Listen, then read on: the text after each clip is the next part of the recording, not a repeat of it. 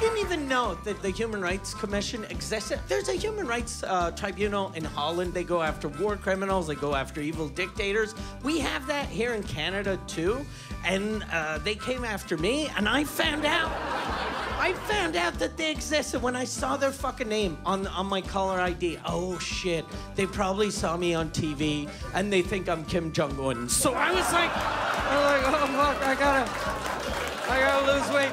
His wish was to sing for the Pope. That was his seven year old wish, which is a shitty wish. That's the worst goddamn wish. But he, wa- he was deaf, so I guess he hadn't heard about what Catholics do with little kids. So he wanted. I only did that joke in Quebec in French because he was French famous. Like he was famous in Quebec. Never did that joke in English. Never did that joke. But I was like, fuck it. I'm fuck. If it's gonna cost me this much money, I'm gonna do that joke in English. I'm gonna. I'm. I'm even gonna learn Spanish. Like I'm gonna. Next year you'll see me. Fuck. I'll be touring Mexico. In Mexico City going, Hola, el niño cante por el papo.